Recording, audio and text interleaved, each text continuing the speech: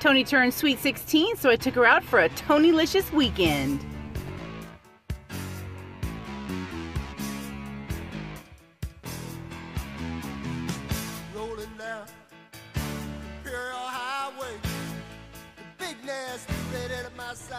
Los Angeles, California. Ooh, one of my favorite places. So, uh, yeah, of course I'm gonna bring Toni here.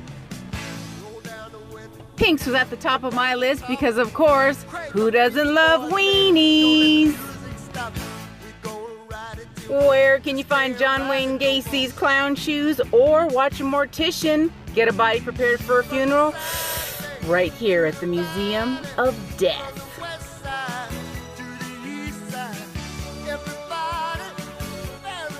There's no photography allowed, so you're gonna have to take my word that the autopsy pics were brutal. And the museum is so worth it. Say hello to San Pedro and the Sunken City. All right, people, I'm about to go over the wall. I want you to remember that the camera adds about 65 pounds, so if I seem extra large, it's just because we're on film. I looked up the address online and this is where I ended up. Now on the other side of the fence, this is definitely where I want to be, but I have to get on the other side of the fence.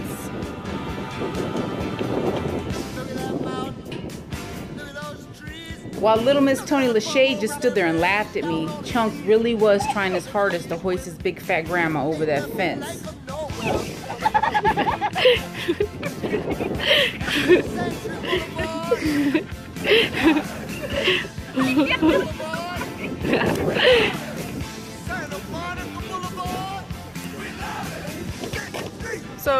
Obviously this isn't working.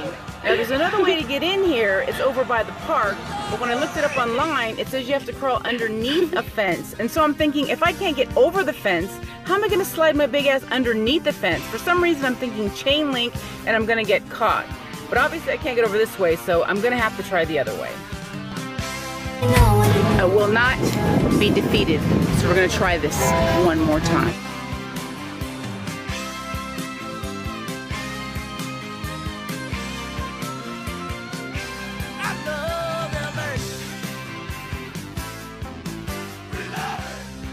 Over the wall, under the fence, I'm in.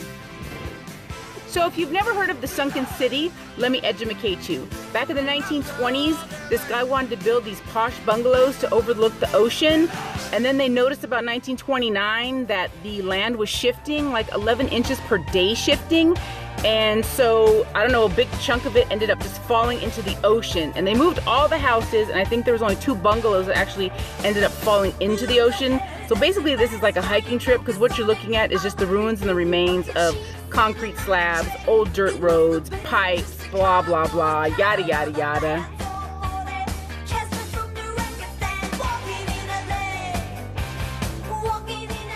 Greetings from Compton, Long Beach Boulevard. This is Bludso's Barbecue. How may I help you? Aye, the girls behind the bulletproof glass had such attitudes and were so stank. But if you can get through that, then the barbecue might be worth the wait. That's of course if they get your order right and or they don't run out of what you want first. Just a heads up, there is no place to sit, so when you pick up your barbecue, it is gonna be to go. Also, you might want to stop at the store on the way in because their soda selection today consisted of warm Shasta canned soda. Great. Don't let my negative vibe stop you from going because Haven assures me that this barbecue is banging. I think it's the sauce. And I'm sure the weekend highlight for Toni was the Selena Gomez concert. I'm my 14 carats. I'm 14 carat. Up, up, and away. Here we go to the nosebleed seats. Now you say I got a touch, so good, so good. Make you never wanna leave. So don't, so don't. I'm not really into Selena Gomez like that, but I did shake a tail feather or two. heart beating. Trejo's Tacos. Man, I've been trying to get here since it opened and I finally made it. Look at this man, Danny Trejo. He loves dogs. I love dogs. How could I not love Danny Trejo?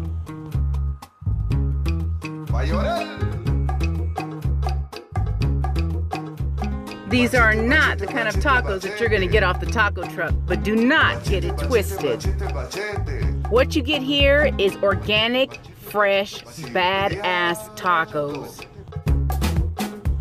I ordered the grilled chicken taco, and that's the tofu taco. And I'm telling you, that tofu taco might just surprise you because the salsa on that is friggin' hot, but like hot enough that it made my nose run, but not so hot that I would put the taco down. You know what I mean? It was scrum, diddly, umptious. And that guacamole and chips, banging. I'm still taking video, video now.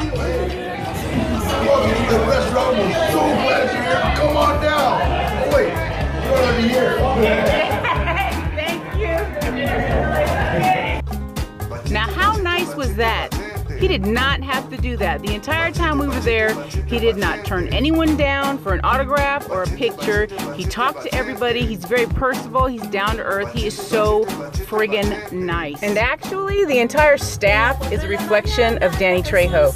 Don't take my word for it. Not on the staff, not on the tacos. Everybody has their own taste. But I would go down there and I would check it out.